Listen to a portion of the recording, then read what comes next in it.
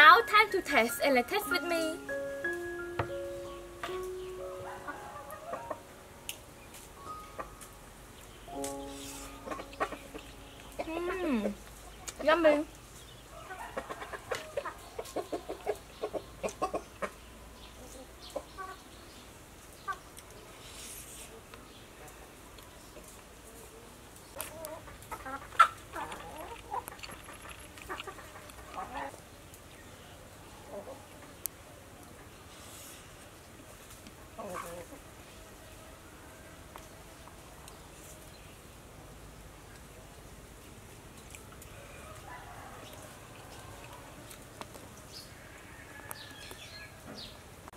Thank you for your watching. See you again soon. Bye.